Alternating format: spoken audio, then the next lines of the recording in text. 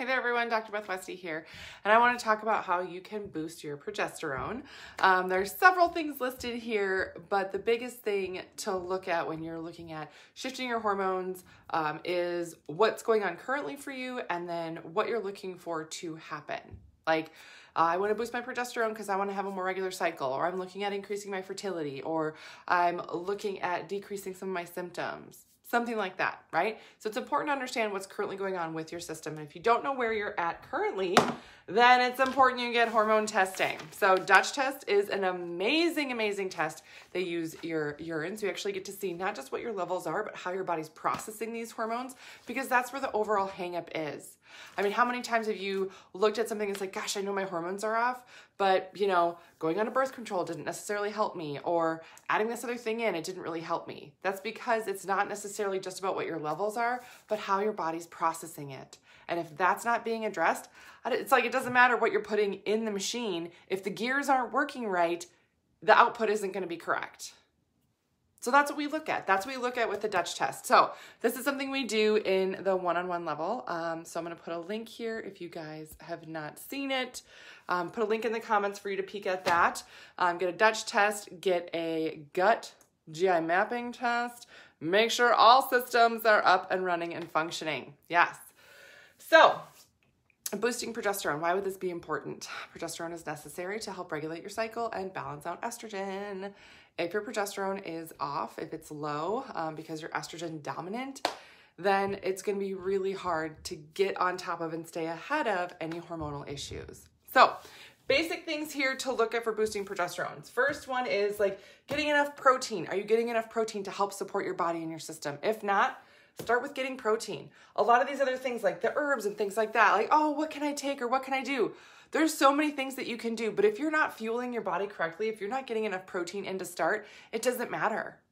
It doesn't matter some of these other things here if you're not getting the right fuel in. So start here. Get enough leafy greens in, get enough clean eating in, um, avoid artificial colors, flavors, sweeteners, things like that. That disrupts your gut microbiome and disrupts how well you can balance your hormones on your own. The goal here is that your body does it naturally. The goal is that your system can regulate your own hormones. What does that mean? It means you produce and then maintain the correct amount for your system. So to do that, you have to get these basic things in first. And then of course I put this in here if your estrogen is too high, to look at decreasing that. Oftentimes, we look at doing something through the liver, uh, making sure your liver's processing these hormones correctly, all of that. Um, warming foods. Now, warming foods, these are things that I cover um, in my book, The Female Fat Solution. If you're like, I don't have a cycle, Female Menopause Solution book for you. Um, but these are on Amazon. But I talk about what warming foods are, why they're important, and how they can help your progesterone levels um, in there. And then I also have videos on this on my YouTube channel, Dr. Beth Westie, so you can subscribe to stay updated on all the videos I have there. Um, there are also certain herbs that can really help. And if you're like, oh my gosh, list, list the herbs, list the herbs for me. Some of the herbs would depend on what may be going on with your system. But I also have, I did a sneak peek before, but um, you know, I can't officially show you, but I've been working on something for months, for a long time, and I'm so excited for some herbs specifically designed to help the female body um, create and maintain the correct amount of hormonal balance. Mm-hmm. This one would be the one for progesterone, and there's a different one for estrogen because it's important. Like seed cycling, both herbs. Yeah, yeah. So coming soon. So stay tuned for the release of this. It's really close. I don't have a label on it yet. That's still working on some of the fine-tuned details. I'm so excited. Oh my God, okay. Um, but this super, super helpful. And, and if you're thinking like, well, why is it like this? I'll get into this, but certain blends of things um, play off of each other to help your system function better. And this is a great way to get it in where you're not taking like 10 different capsules. You just take one little dropper. There you go. Um, so there's that. Um, creams, progesterone creams. This is a really common one too. A lot of times people will use um, creams uh, uh, plant-based progesterones produced by like yam, whatnot. Sure, sure. Like, okay. And these can be helpful, again, if you know your actual levels.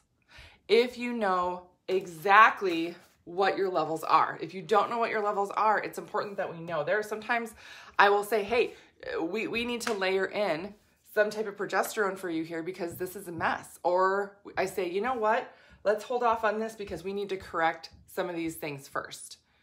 It just depends on what's going on for your body, right? So if you've tried some things and you're like, gosh, I feel like I'm going in circles and I'm not really getting anywhere. Yeah. Mm-hmm. And then the last one here is decreasing stress. Decreasing stress. Decreasing stress boosts your progesterone? Yes. Yes, because if your system is stressed, if your body is the female body, if the female body is too stressed, you're, you're not going to ovulate regularly. You just don't. This is a protective mechanism for the female body. Now, where is a lot of progesterone created? Ovaries. It impacts your ovarian function. What? Yes. How do I correct that? By decreasing stress. This is more than just like, oh, I'm going to calm down, blah, blah, blah. This is really looking at things that you're doing day to day throughout the day. And this is a big thing right now for people. People are more stressed right now than uh, in a while, right? We've been under stress for the past year and a half, and just recently it's gotten real bad.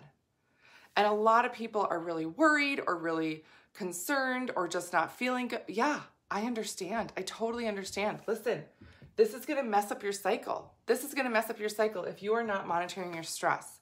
So if you need help with this, or if you are wondering like, okay, what are some things that I can do to help my support my stress and my hormones, let me know. Or, you know, you can put a comment down below. I'd be more than happy to do a video on that. Yeah. Um, but these are the things to make sure you're getting enough progesterone in your system because your body should make enough for you until you go through a hormone transition. Yeah. All right, that's what I got for you guys tonight. Please let me know if you have any other questions. I also have other resources for you on my podcast, The Female Health Solution. Yes, otherwise, have a great rest of your night, and I will see you later.